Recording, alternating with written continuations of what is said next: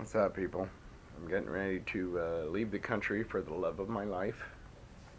Never done nothing like this before. I've never flown.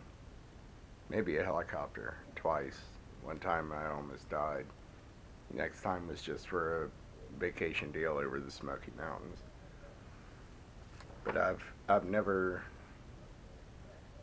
never actually I never thought I'd ever do this for anybody, but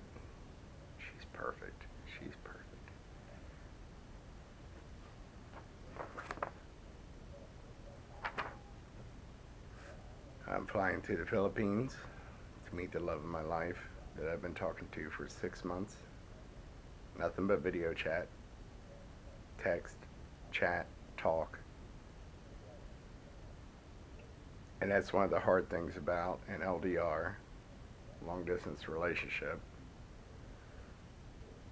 You can't touch, love, hug, kiss, none of that stuff.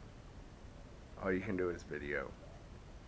And just, I mean, yeah, there's love, but you can't really show it. It sucks. But our date's closing in. I'm about to be there. I'm about to finally get to see her. First time. And yes, we're going to touch, hug, love, and kiss. All that. And the feeling's just going to be so rolling with emotions because it's not like a regular relationship like somebody down the street. It's not the same feeling.